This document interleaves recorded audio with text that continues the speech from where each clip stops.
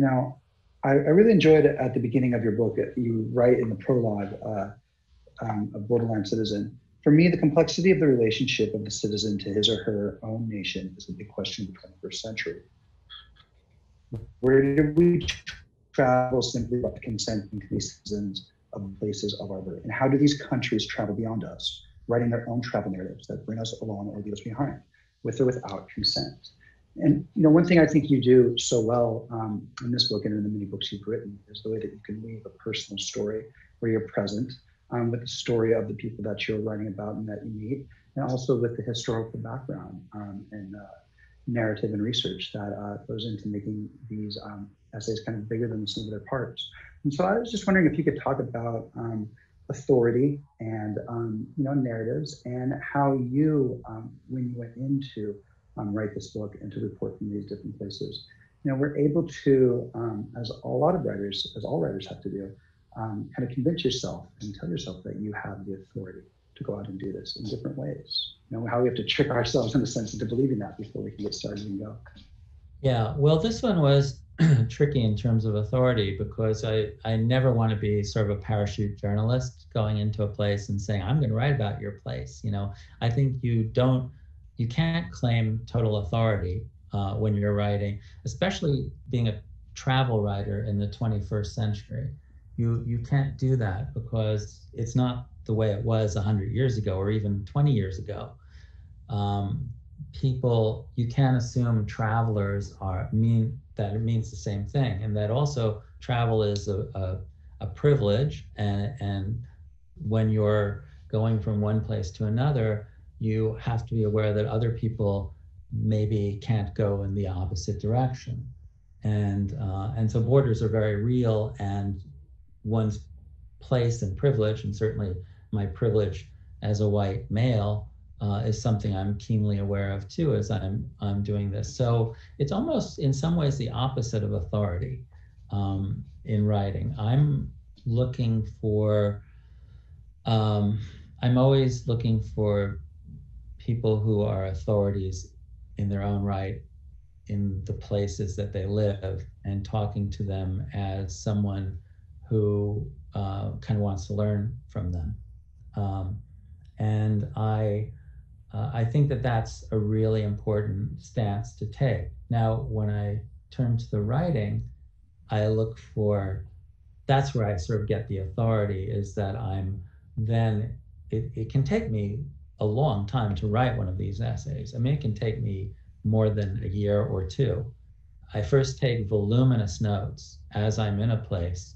I take a lot of notes. I'm constantly taking notes. And then at the end of the day, no matter how tired I am, I try to write up the day as best as I remember it in my journal or diary.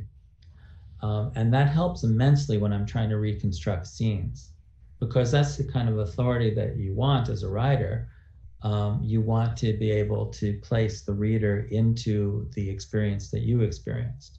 So there are two kinds of authority. There's the authority of being an, an insider or outsider, and I want to be an informed outsider, not claim that I'm an insider, um, and not sort of go in and just sort of just sort of tell other people's stories as though I'm an expert.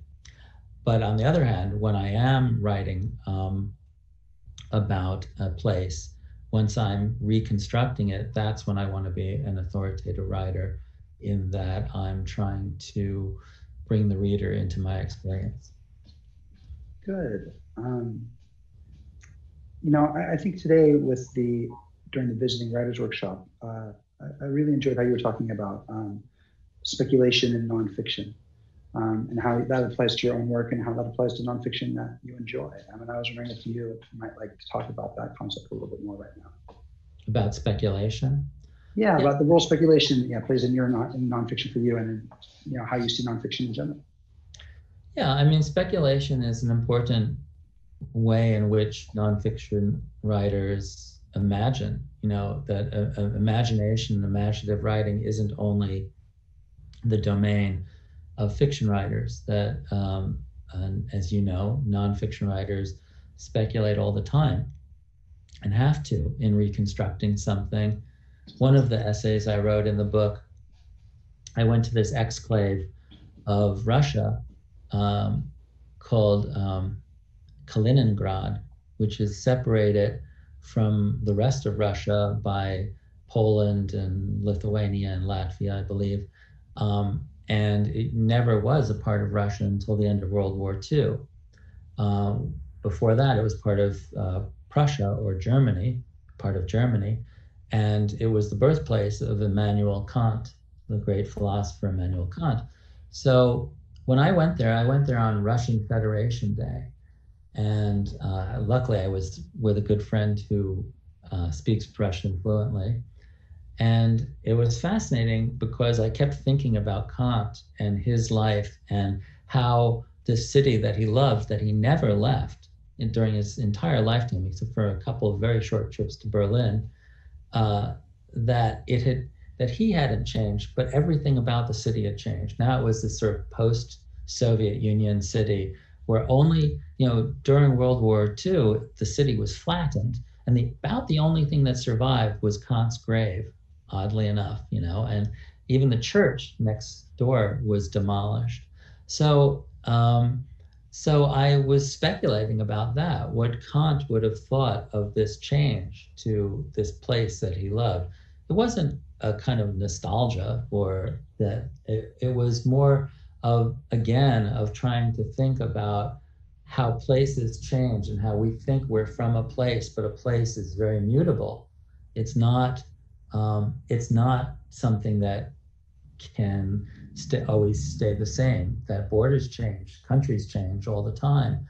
And so that is a way in which I speculate, uh, in which I try to speculate, is this notion of um, even if we have this sort of imaginative attachment to land and place and um, nationhood, uh, that is in itself a kind of speculation that the this this idea that we belong to a nation is itself a kind of imaginative speculation that won't always be the case.